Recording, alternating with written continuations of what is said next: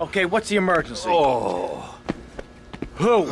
Tommy, some mob thugs said they'd come to take their cut. Said it was a Mr. Forelli's money. Oh, I feel like crap. Forelli? Sonny Forelli? Yeah, that's the guy. I think. They were very insistent. I'm not angry with you. Get him to the hospital. Tommy, rip that guy a new asshole for me. I'm gonna rip him too!